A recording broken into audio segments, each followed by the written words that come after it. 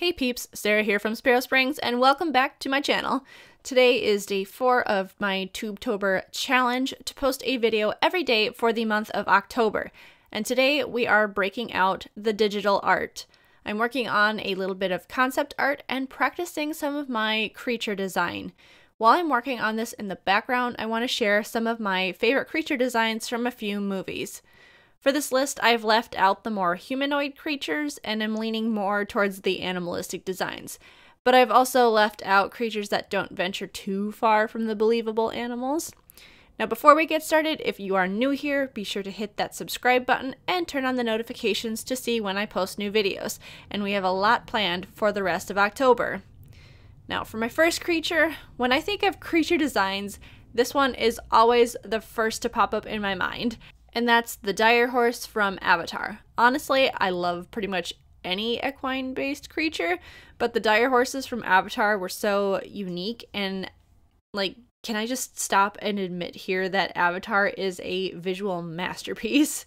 the the dire horse is my personal favorite, but really all of the creatures are just very fresh and intriguing. I love the tropical feel to the landscape and how all the creatures just fit in their environment. It doesn't feel like they created these unbelievable creatures and put them in our realistic world. I could go on and on about the visuals in this movie, but I have a whole list to get through. Next up, I feel like you can't talk about creature design without mentioning the Star Wars universe, and I have quite a few favorites from this one. Now, before all the CGI, I appreciate that some of the early Star Wars creatures were either puppets or costume, but I still felt like they were quite believable. Of the earlier creatures, the Ewok stands out as my favorite. I even named my Angora rabbit after these feisty little creatures. I also named my dog Wookie and have had suggestions to rename my horse Tauntaun, but we never got that far. Other creatures from Star Wars movies include Sebulba. I don't know why, but just the way he walks on his hands was super interesting to me. I also like the Gungans and maybe some of the lesser known ones I'll include here is the Reek from the arena monsters in Clone Wars. Also from Clone Wars was Boga, who is a reptilian creature called a, a Varactyl. Question on pronunciation. Um, but basically, this kind of reptilian creature that Obi Wan was seen riding around in part of the movie. Moving on, we enter into the Lord of the Rings realm. There are a number of creatures throughout the series, but my favorite by far and away have to be the Ents. I love how the different types of trees translated to slightly different looking Ents, and just how they characterize them like so perfectly being slow moving but rather honest creatures. Next, we have Buckbeak. I think a lot of people like Buckbeak, and it does not come as a surprise. I think the thing that really makes me love Buckbeak as a creature design is how how well the different animal components blended together. The way they animated him made me feel like the mechanics all worked well together. Oftentimes I see artwork of griffins or horse blended creatures and they just look awkward and I can't see how they would move properly, but with Buckbeak it was very well done.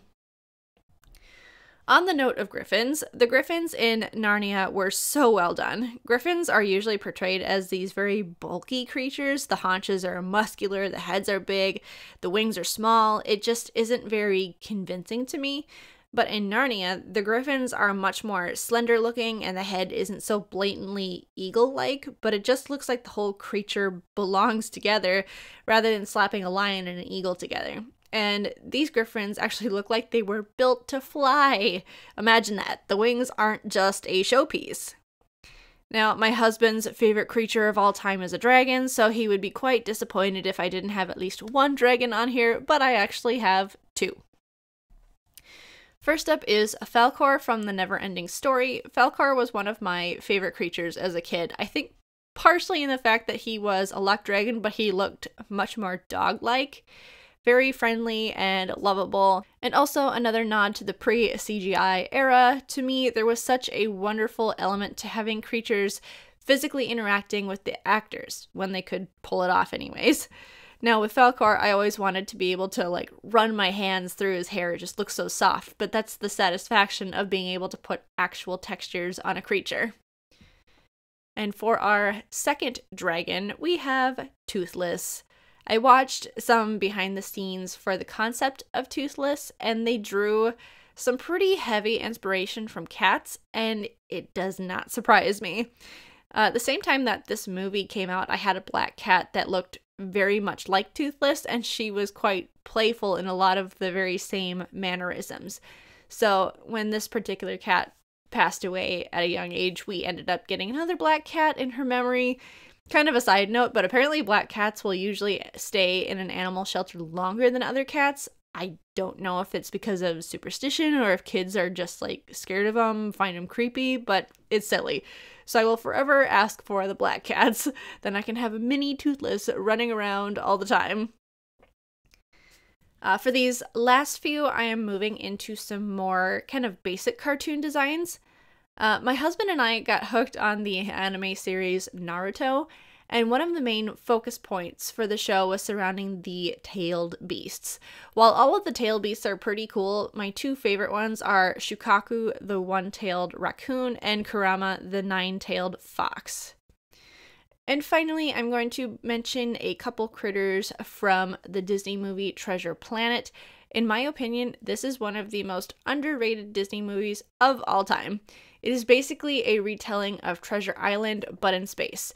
So you have this kind of seafaring kind of lifestyle in a sci fi setting.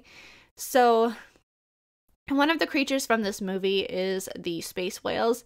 They're only there for a brief moment, but they're still pretty cool. And for our final creature in this list, the star of this movie is Morph. Morph is basically a jelly like shapeshifter, and Morph is kind of a fun concept in how they portray him, and he's just adorable. So, those are some of my favorite creature designs, and we are finishing up my little creature here. the base of this idea was a rodent cross between a squirrel and a meerkat, but I wanted to add some colorful bird like plumage for a bit of fun. Concept art is so much fun to me, and I hope to do a bit more before the end of Tubetober, so stick around for even more fun art stuff. That's all for now, and I will see you later, peeps.